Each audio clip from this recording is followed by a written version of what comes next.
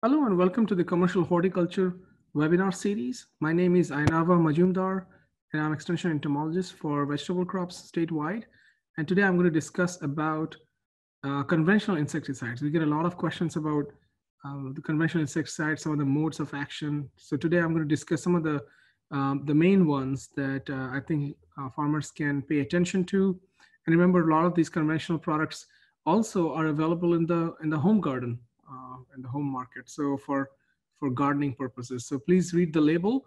Uh, and if you need more information, you can find it on our website, alabamabeginningfarmer.com, and uh, also on the uh, aces.edu slash vegetable IPM page. Some of what you will hear today is from the 2020 Vegetable Crop Handbook. Remember that this, this handbook is revised annually, and it's important to get the latest edition from your uh, extension agent. Uh, you can contact your county extension office and a regional extension agent if you're in Alabama. If you're in any other state, uh, you can contact uh, the extension agent there uh, or the county office uh, to get a copy. But it's important to get the, the latest edition and also the some of the recommendations change over time. So if you're watching recordings, uh, please uh, contact your extension office and get updated information and read the label. Just to give you an overview, we have seen some trends in synthetic insecticides and, um, and we have seen, we're familiar with some of the older insecticides, uh, for example, uh, Zeta cypermethrin, malathion that are still in the market. And uh, you can see them as pretty popular products. Now, these were short chain insecticides. Uh, they have excellent contact action, uh, and that's why they're very popular. And over time, they're also very cost effective. Uh, compare that to new insecticides. For example, uh, indoxacarb, spinot uh, spinetoram, uh, that are on the right of your screen.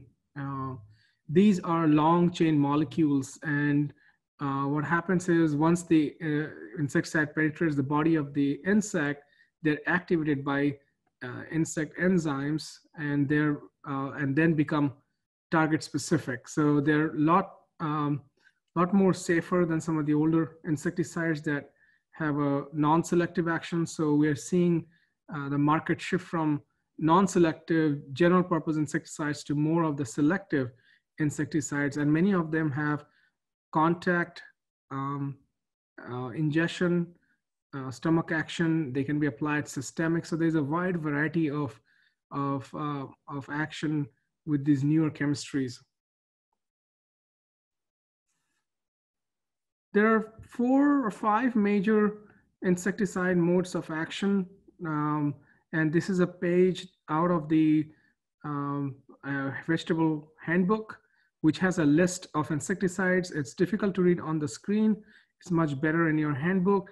But there are overall, there are these five categories of insecticides. For example, uh, insecticides that affect the nerve and muscles, insecticides that affect the growth and development of insects. Uh, there are insecticides that affect the cellular respiration.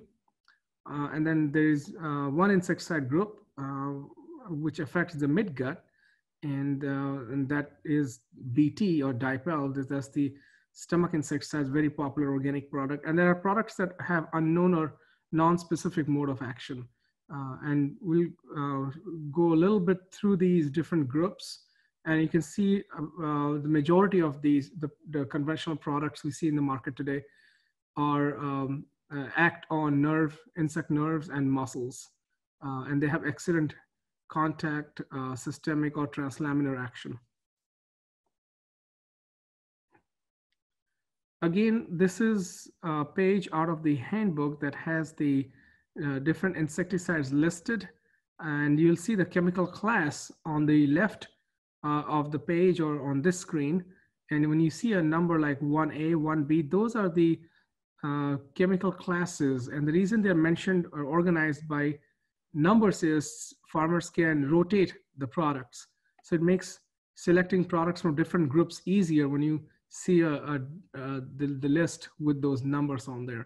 And then um, on the list, you'll also see uh, different, some of the major insect pests on the top. And then uh, there's a rating system that entomologists have developed. Uh, and, and most of the products here that are listed are have good, fair, or uh, fair, good, or excellent uh, categories. So they're effective products. The non-effective products or products that uh, have been out of the market are taken out of the handbook. So let's go through the quickly the modes of action, the major ones.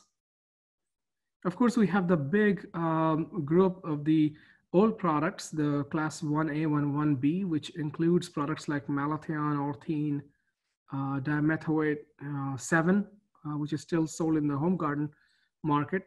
And, uh, and most of these products are contact insecticides. They have a broad uh, action and they affect the, um, the insecticide nervous system. And uh, with their long-term use, we, we have seen insecticide resistance build up. And that's why a lot of these products have a fair to good rating. Um, and, and the longer we use the products, the insects, in, insects are becoming resistant to these products. The next big group is the um, synthetic pyrethroids, the very popular uh, group three insecticides. They also affect the insect nervous system. They have a very quick knockdown, which makes them very popular. And within this chemical class, group three, we have seen newer products like bifenthrin, which are much more photostable, which means they are much more tolerant of sunlight. Um, so, uh, and they're retained better. Uh, they have better persistence. Uh, once again, because they have been around for a long time, insecticide resistance is common to these products.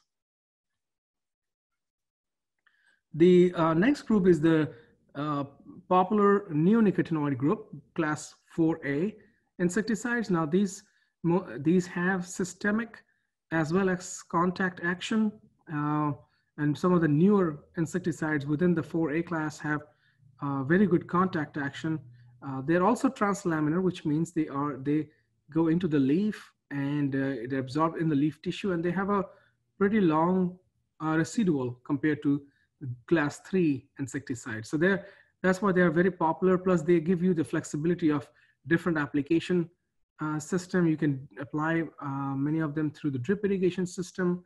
Uh, they're very good early season products to, to start with, and a lot of far farmers use them uh, early in the season to get a long, uh, long-term protection, and then followed by uh, need-based foliar applications of insecticides. The, uh, the other one that I wanted to highlight is the, um, is the 4 class 4D, which includes spinosad-based products. Uh, we, have, we are familiar with uh, Blackhawk. Um, the organic version is called Entrust. Now these are derived from microbes, uh, but they don't have the microbial cells. Um, and they're extremely toxic to, uh, to insects, very good insecticides. Uh, the one that we have tried in Alabama for a long time and, uh, and is found very effective against caterpillars is Radiant. Uh, Radiant is very good against caterpillars and thrips um, and uh, some other insect pests there. It's a good product for rotating with and these are um, again uh, have organic version and the chemical version. And the organic version is called entrust the next group that i want to highlight are the insect growth regulators. I really want uh, growers to pay attention to this group uh, because the insect growth regulators for example Rimon uh, intrepid uh, these are great products uh, for caterpillar control and they're very selective uh, and they act only on the caterpillars. They would not kill any of the moths. So we never target the moths with these products. And we, we are targeting the early, uh, early instars of these caterpillars. Uh, and um, these products like Intrepid and uh, Rimon, they're extremely uh, effective uh, early in the season or if with timely applications and very good rotation partners. So if you are using synthetic pyrethroids, and you uh, get into a drought situation, as we have seen in Alabama, uh, we are getting prolonged droughts or we're getting flash droughts. In those situations, it's, uh, synthetic pyrethroids can flare up spider mites. It's always good to rotate them with other uh, cl chemical classes and the, this group of insect growth regulator products are very good rotation partners uh, in a in a IPM uh, strategy. The last uh, group I want to mention uh, is this emerging group of insecticides that includes popular products like Coragen, and we have seen some more products uh, come in the market, and uh, they have very unique chemistry, and they can be applied systemic and also foliar. They're mostly very effective as systemic poisons early in the season. Just quickly showing pictures of uh, use of uh, Intrepid, which is uh, insect growth regulator uh, in um, a stress environment. This is 2016 uh, research uh, in Clanton. As 2016 was a prolonged drought, extremely hard drought. And you can see the um, control was hammered with caterpillars and the, the products treated with Intrepid uh, uh, uh, look great in comparison. Um, you do see some stink bug feeding, but overall the product looks great. And here's some pictures in the picture of uh, of tomatoes sprayed with with Rimon, which is also another insect growth regulator. Uh, so again, the point is under stress situations, we need to carefully plan our IPM uh, strategy and uh, avoid getting spider mites.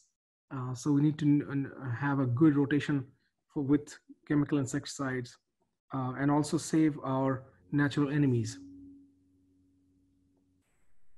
Make sure you look for the warning labels on the uh, warning language on the insecticide labels. Uh, for example, look for the, the pollinator mark on uh, certain insecticides and follow those recommendations. Finally, uh, make sure you're using uh, or integrating cultural, mechanical, and other pest management tactics first um, before you use uh, chemicals. Uh, use insecticides as a last resort, not the first resort. Uh, think broadly of why uh, insect outbreaks are happening and do not apply, over apply um, insecticides. rotation is very important. So please contact your uh, extension agent and uh, develop a, a well-written IPM plan. And uh, the, your IPM plan should be unique to your farm. And then read and understand the pesticide label because label is the law. Thank you very much.